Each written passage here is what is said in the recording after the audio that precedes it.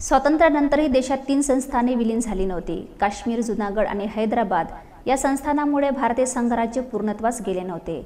स्वामी रामानंद तीर्थ यांच्या नेतृत्वाखाली संपूर्ण हैदराबाद संस्थानात मराठवाडा मुक्तीसंग्रामाचा लढा सुरू झाला होता. मराठवाड्याच्या गावागावातून मराठवाडा मुक्तीसंग्रामाचा लढा अनेक स्वातंत्र्य सैनिकांनी शौर्याने लढला. हा केवळ संस्थानाच्या विलिनीकरणाचा लढा नव्हता तर भारताच्या प्रादेशिक अखंडतेचा लढा होता.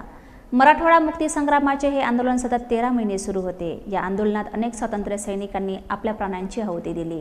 अखेर सतरा सप्टेंबर एकोणीसशे अठ्ठेचाळीस रोजी निजामाच्या जोखडातून मराठवाडा मुक्त होऊन भारतीय संघराज्यात विलीन झाला.